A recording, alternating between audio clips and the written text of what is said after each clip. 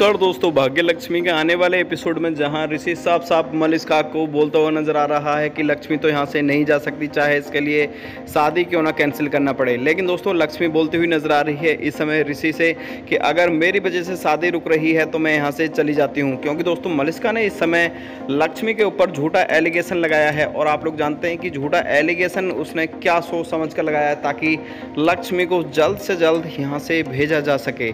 आप लोग जानते ही हैं कि कहानी एक नहीं बल्कि समय कई और भी टूस्ट आते हुए नज़र आ रहे हैं। आप लोगों को बता देना चाहता हूँ कि यहाँ पर सभी लोगों का कन्फ्यूज़न इस समय बिल्कुल अपने तरीक़ा से तो बेहद ज़्यादा अलग ही है। आने वाले कुछ एपिसोडों में आप लोग देख पाएँगे कि किस तरीक़ा से लक्ष्मी कोशिश कर रही है कि ज़्यादा लंबा स्यापा ना हो और जल्द से जल्द शादी हो जाए ऋषि की, ताकि मैं भी इस घर से जा सकूँ, क्योंकि ऋषि ने बोल दिया है कि अगर लक्ष्मी इस घर से गई तो मेरे से ज़्यादा बुरा कोई नहीं होगा। क्योंकि दोस्तों, आज भी ऋषि मोहब्बत करते हैं लक्ष्मी से, लेकिन दोस्तों, ये शादी हो ही नहीं पाएगी मलिका की किसी भी सूरत में, किसी भी कीमत पर। जी हाँ। क्योंकि कुछ लोगों को लग रहा था कि किसी भी तरीक़ा से ये शादी हो सकती है, लेकिन ये शादी होना तो बहुत दूर की बात है।